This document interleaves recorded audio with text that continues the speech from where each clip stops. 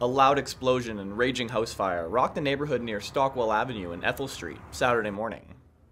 The explosion occurred just after 7 a.m. and damaged the structural integrity of the house, forcing firefighters to fight the fire from the outside. Flames, heavy smoke. Uh, it's a, been a defensive fire, uh, meaning too dangerous for us to enter. When we arrived on scene, there was uh, some sort of uh, loud explosion.